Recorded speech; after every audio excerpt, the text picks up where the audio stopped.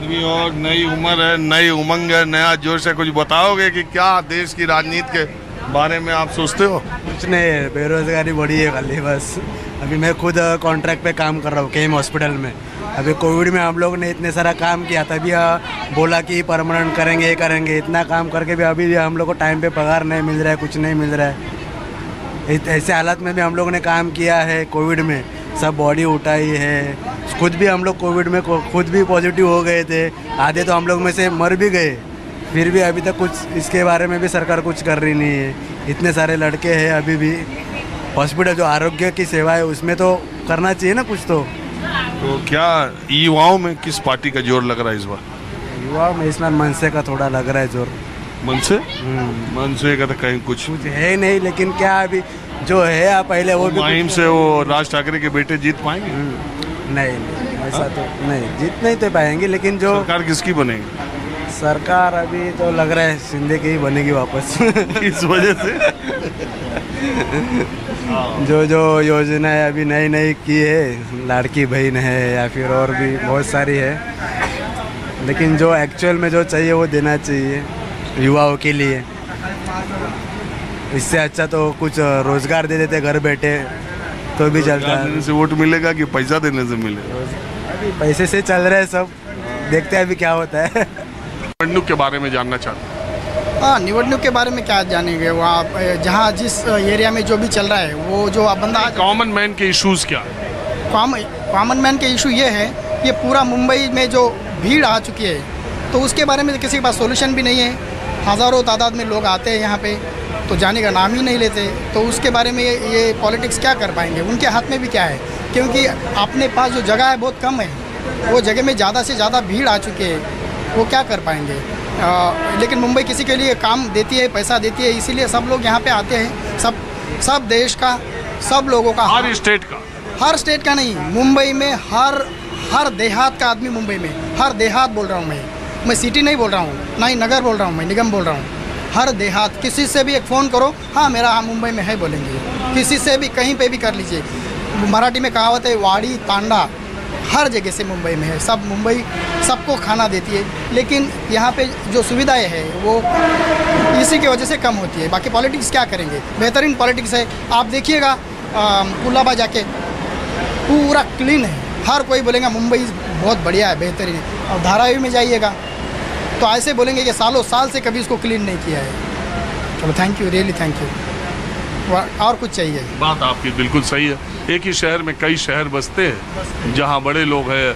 वो कहते हैं ना अमीर शहर, गरीब शहर, जरा थम के चल, अमीर शहर के घरों में धूल आती है।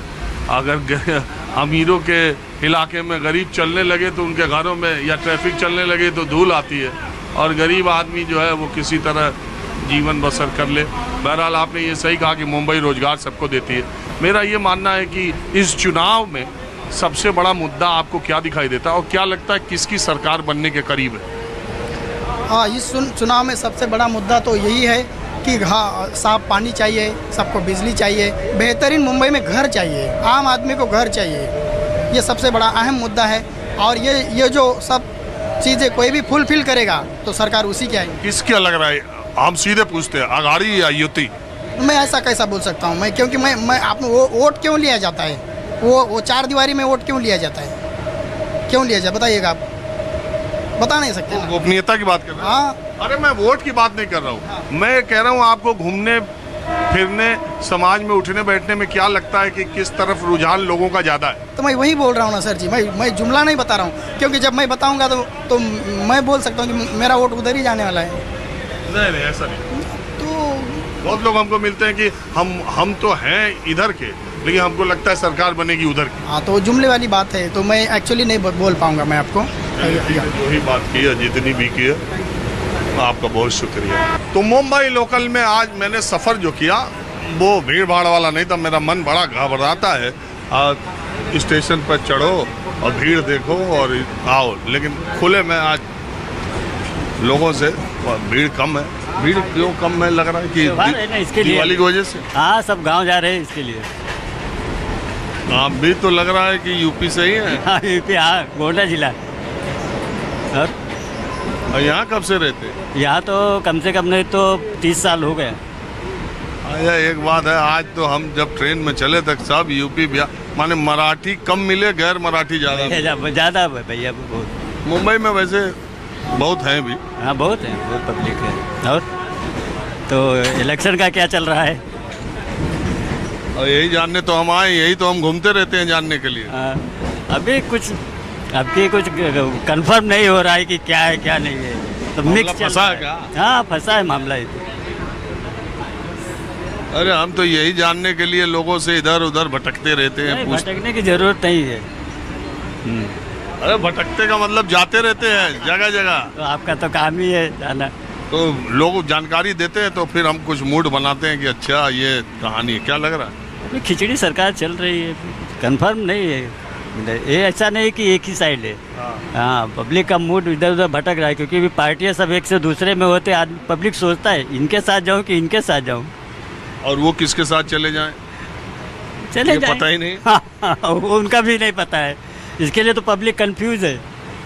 ये तो मैंने महसूस किया है कि महाराष्ट्र की पब्लिक कंफ्यूज ज़रूर है। कंफ्यूज है कि अब शिवसेना कौन सा दो? इनको दो कि एनसीपी को किसको दो? और इधर कांग्रेस और इनका किसको सब कौन किधर चला जा? कुछ भरोसा नहीं कौन किधर जाएगा? पब्लिक का भरोसा ही उठ गया अभी। राजनीति पार्टी वालों से भरोसा उठ गया कि आज हम इनको देता हो कल ये दूसरे साथ में चले जाते। ये सब। आपका क्या विचार है भाई साहब? क्या नाम आपका है? नूर आलम नाम है। हाँ? नूर आलम। कहाँ गए हैं? लोग बिहार के हैं। बिहार के हैं। बिहार में कहाँ से? दरभंगा।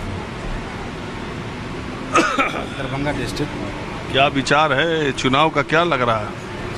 चुनाव का तो यहाँ हम लोग का ऐसा कुछ वोटिंग वोटिंग भी है ही नहीं सब गाँव का तो उस पर अरे जहाँ रहते हो चाय की दुकान पर हाँ। यहाँ वहाँ लोग चर्चा तो करते हैं किस करते हैं।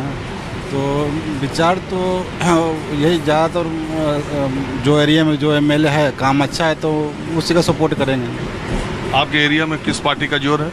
उधर तो कांग्रेस का है। और आपके भाई साहब? हमारे यहाँ बीजेपी का ज़ोर है बोरोली आपका कौन सा है? बोरोली बोरोली।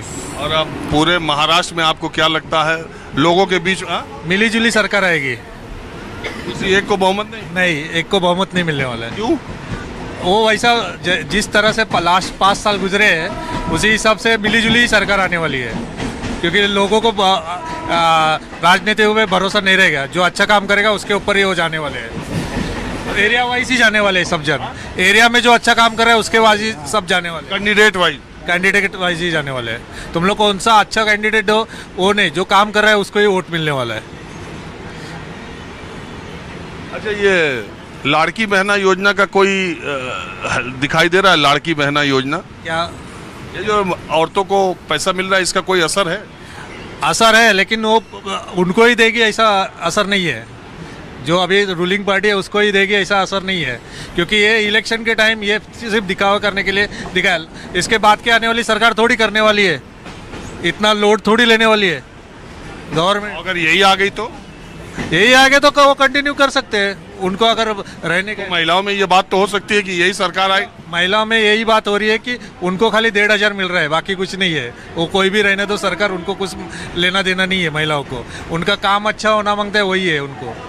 चलिए ठीक है, आज के सफ़र में बस इतना ही। अगले एपिसोड में मैं किसी दूसरे